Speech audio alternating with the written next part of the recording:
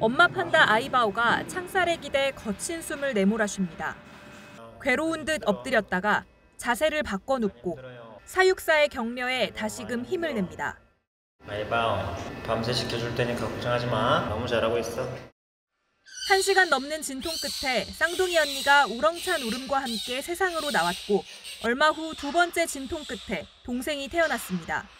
엄마는 새끼들을 물어 품에 안고는 정성스레 핥아줍니다. 각각 몸무게 180g, 140g의 암컷 쌍둥이입니다.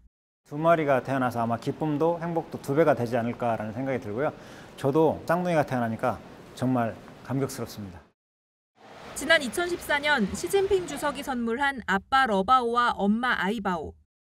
동물원 측은 아이바오에게 임신 징후가 보이자 24시간 내내 보살피며 새 생명의 탄생을 준비해 왔습니다.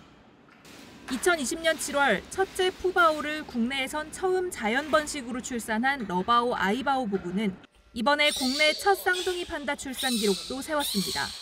쌍둥이 탄생 소식에 주한 중국 대사관은 축하글을 게재하고 중국 매체들도 관련 기사를 전하며 관심을 나타내고 있습니다.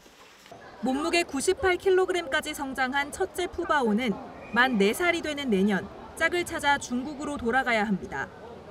반환 전 푸바오를 보러 온 관람객들은 쌍둥이 동생 출산 소식에 아쉬움과 기쁨을 함께 표현했습니다. 실제로 보니까 아니야 다를까 귀엽네요. 푸바오 보려고 왔는데 운행 중에 보니까 이제 아이바오가 쌍둥이 났다 해가 그래가지고 왔어요.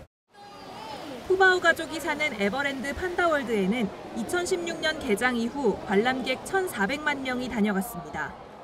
채널A 뉴스 신선미입니다.